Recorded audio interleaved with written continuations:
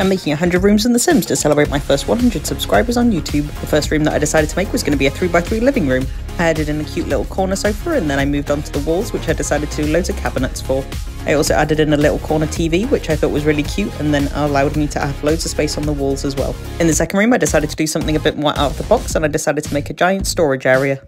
I think that this actually came out really cool and I think it'd look really good in a garage. The third room I decided to make was going to be a massive walk-in shower room. This included a place to sit as well as a waterfall shower. For my fourth room, I decided to do a pink and white gamer girl room. I really like all of the different pops of colour that came out in this room. And finally, the last room that I decided to make was going to be a kids play area slash nursery. This included a reading pit as well as loads of fun activities that the kids could do together. And there we have it, our five rooms done. I think that my favourite rooms were definitely the last two. I really like the kids area and I think that the gamer room is absolutely awesome and I would love to have that room. I think the rooms I'm most likely going to incorporate in future builds is going to be the walk-in shower as well as the pantry. Be sure to give this video a like if you enjoyed it and subscribe for regular content.